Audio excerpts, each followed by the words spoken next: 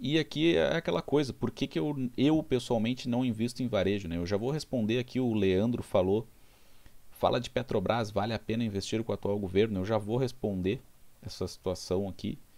Só terminar de falar sobre Americanas aqui, que por que, que eu pessoalmente não invisto em varejo, né? E aí, com todo respeito a quem investe em varejo, cada pessoa tem a sua estratégia pessoal, né? Suas impressões pessoais aí sobre, sobre determinados segmentos tudo mais. Eu pessoalmente não invisto em varejo por conta dessa margem líquida, que eu acho que a margem líquida do varejo é muito baixa. Então a gente vê aqui que a margem líquida do, da Americanas né, em 0,15%.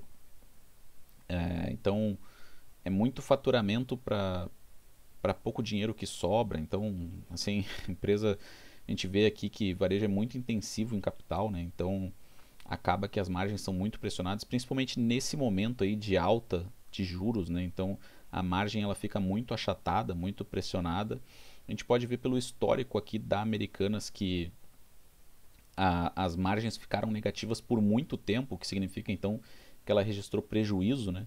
Então, por muito tempo, e aí empresa que fica registrando prejuízo, eu também estou fora. Então, né, uh, uma margem que é pequena para ela virar prejuízo não precisa muito. Então, por isso que eu não fico de fora, né? Então, a gente vê aqui que realmente essa é uma situação bem complicada para os varejistas. Então, ela depende muito dos ciclos também, do cenário macroeconômico, né? Claro que todo mundo depende disso, mas as varejistas mais, né? E e elas não pagam dividendos também. Eu prefiro empresas que pagam dividendos, né? Então essas margens elas são muito baixas, então por essa razão eu fico fora. Acredito que seja e aí claro